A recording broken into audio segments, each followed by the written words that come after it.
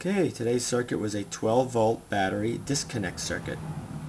And what it does is lead acid batteries, you really don't want to drain them down low because the sulfation will start and the plates will get clogged and it won't hold a charge anymore. So what this does, now this is only designed for lead acid batteries. It will, you set it, you set right here with this potentiometer, what you do is you adjust the low end cutoff which would be like 12.1 or 12.2 volts. And what will happen when the voltage of your lead acid battery reaches that level that you set with this pot, the circuit will actually open up the MOSFET and the load will be disconnected. The only way you could reconnect the load would be to charge the battery up and then you push this reset button right here. This reset button will allow the circuit, the MOSFET to close and you'll have full power.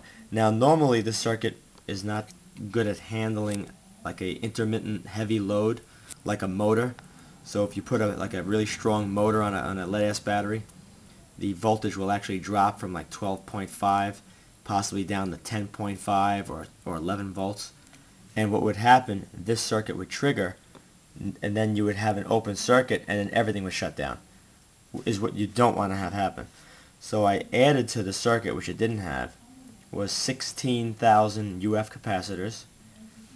And you can see the power feed right here has a Schottky diode. So the current will flow in. Now the circuit only draws 6 milliamps, which is nothing.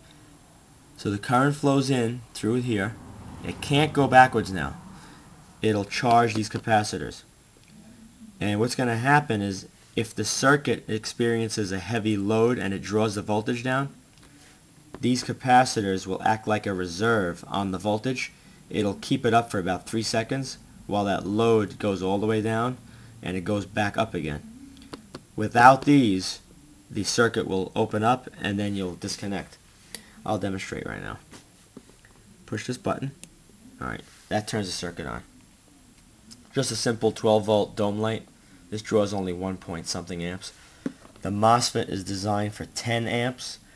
And if you want to control something up to like 20 or 30 or 40 amps, you would take the output from this MOSFET and you'd run it into a heavy duty relay or a contactor. And then you could do that.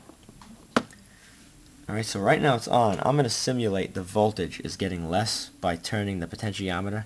So let me put my hand here. It's not going to be easy. I'm going to turn it. And what's going to happen, the light's going to go out.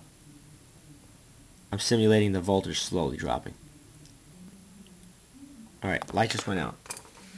So right now, the batteries are charged for about 12.55 volts.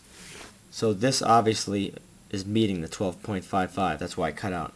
So if I raise it up a little bit, turn it clockwise, it'll make the, the uh, cutoff voltage lower. So you want it around 12.1, 12.2.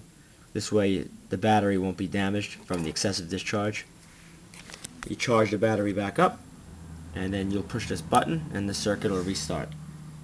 Works really good. There's a lot of uses for it. But if you use it someplace where there's a chance that it can possibly fail and uh, open the circuit when it shouldn't, then you should put a bypass switch between the plus on the battery and the source on your, actually the drain on the MOSFET. So there's a lot of uses for this circuit. You just got to be careful what you use it on because even though it works perfectly, there's always a chance that this circuit can actually open when it's not supposed to open and then you lose all power. But it's really good for motors, like small electric motors or lighting. And like a solar panel, you have charging up some uh, battery bank and then you get a couple of cloudy days where it's not charging and at night your battery's drained down.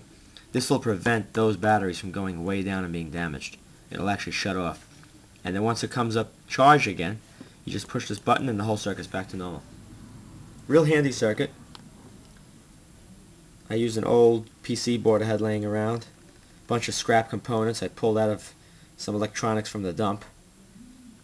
And everything's bonded to the capacitors with E6000 which is the best adhesive I've ever used. It's dielectric. It's extremely strong. I recommend using it. You Get it at a craft store.